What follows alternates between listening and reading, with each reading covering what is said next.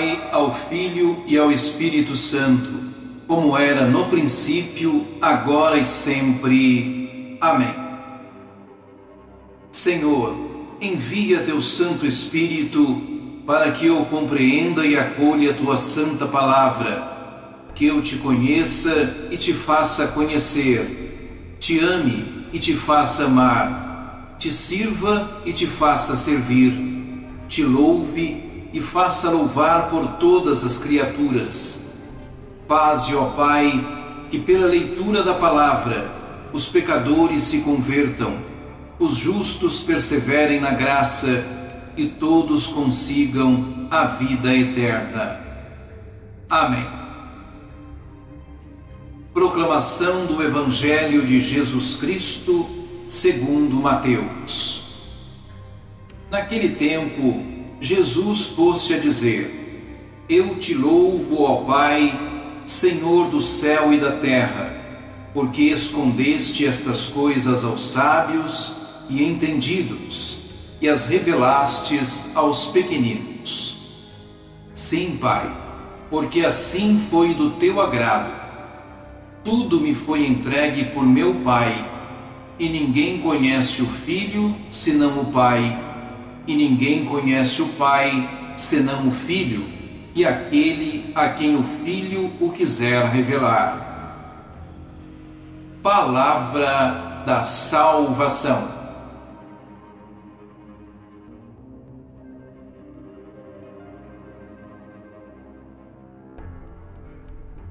A verdadeira sabedoria consiste em reconhecermos que tudo de bom que possuímos vem de Deus e que diante dele nós precisamos nos tornar pequeninos, não no sentido de sermos infantis, mas de termos consciência da nossa dependência.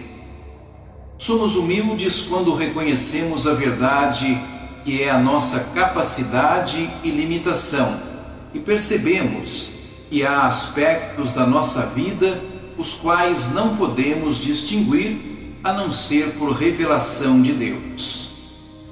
Quando nos arvoramos de sermos muito entendidos e nos posicionamos por cima dos ensinamentos que Jesus veio nos revelar, nós estamos dando uma demonstração de que realmente somos modelos dos sábios e entendidos a quem ele se refere. O fato de sermos pequeninos diante de Deus não nos tira a dignidade nem nos torna subservientes, mas sim coerentes com o nosso ser humano. Está escrito: diante de Deus todo joelho se dobrará, não por imposição dele, mas por necessidade da nossa condição humana. Deus nos revela o seu amor por meio das coisas mais simples e sutis e não precisamos fazer esforços para entender as suas manifestações, mas apenas estar atentos para vê-lo em tudo, até numa pequena flor. Por isso, no Evangelho, Jesus louva o Pai pelos pequeninos. Ele o louva por cada um de nós que não tem a pretensão de ser sábio e entendido, mas o desejo de agradá-lo entregando a Ele a inteligência, vontade e liberdade. Se todos soubéssemos como isso nos torna pessoas leves e cheias de paz, não perderíamos tempo fazendo esforços para sermos grandes e cheios de poder.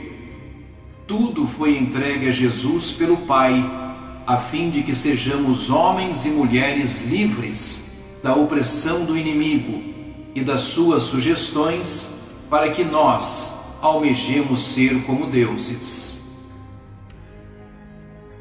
Rezemos pelos nossos falecidos. Ave Maria, cheia de graça, o Senhor é convosco. Bendita sois vós entre as mulheres, e bendito é o fruto do vosso ventre, Jesus. Santa Maria, Mãe de Deus, rogai por nós, os pecadores, agora e na hora de nossa morte. Amém.